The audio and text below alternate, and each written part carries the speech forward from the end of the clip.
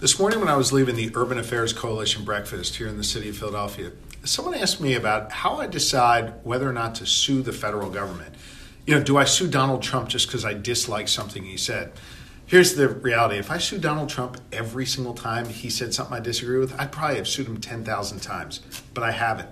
Here's my North Star. Here's what guides every decision I make whether or not a decision by the federal government comports with the rule of law. Is it lawful? And here's the thing every single time we've taken legal action against the federal government, we've won. Why? Because they didn't follow the law. So this isn't about whether we agree or disagree on a policy.